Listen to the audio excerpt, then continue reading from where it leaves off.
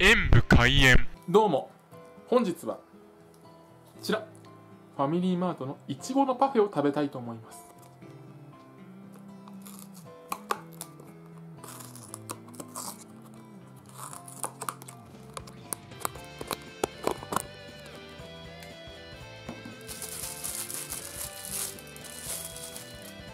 ではいただきます。